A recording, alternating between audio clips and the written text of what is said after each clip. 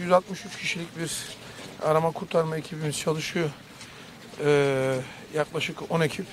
Ee, tabii selle ilgili e, gerekli e, tüm e, hem uyarılar yapmıştı hem de tüm ilçelerde bu bölgedeki tüm illerde tedbirleri almaya çalışmış idik.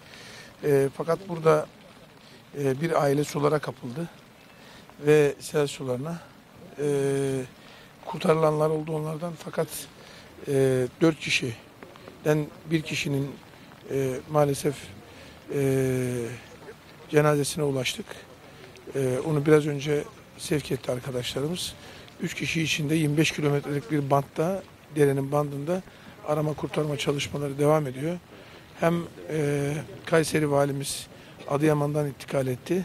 Hem e, Gölbaşı'ndan Tokat valimiz, Tunceli'den de Ad- Adıyaman Tunceli valimiz de tekrar Adıyaman'dan intikal etti. E, buradaki çalışmalar e, jandarma komutanımız, bölge komutanımız burada, emniyet müdürlerimiz burada. Bir- Buradaki çalışmalar arama kurtarma ekiplerinin e, çalışmalarıyla şu anda e, devam ediyor. Yollar açık, elektrik var, su var.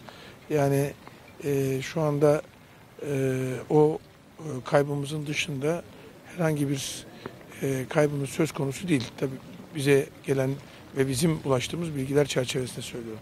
Hem yağışlar devam edecek. Bir uyarınız olur mu vatandaşlarımıza? Yani Özellikle cumartesi pazar Tabii yoğun birkaç birkaç günden beri uyarımız devam ediyor. Evet. Ve buna ait de e, 24 saat tedbirlerimiz de e, devam ediyor. Özellikle yani dere yataklarının etrafında e, yani e, her ilçenin kendine ait bir e, tabii bir yapısı var.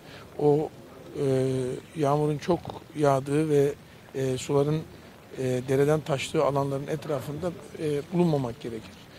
E, ve buna ait de tüm tedbirleri ilgili yerlerde arkadaşlarımızın uyarıları var ve uyarılara da riayet etmek e, gerekir.